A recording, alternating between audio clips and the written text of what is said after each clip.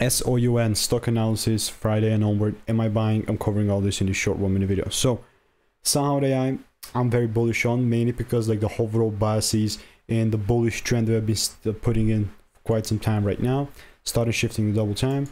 So the way that this is going to work out for me is going to be if the price pulls back exactly into my divide area.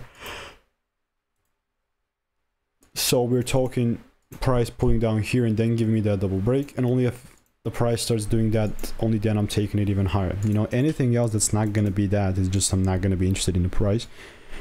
So yeah like i'm definitely to keep you updated here.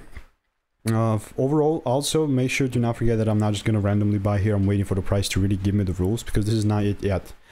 Yeah it's bullish but just for context, all using is also the strategy that's previously delivered thousands of predictions, and if you want to learn the strategy for free, check the first link in the description, all reviews are 5 stars.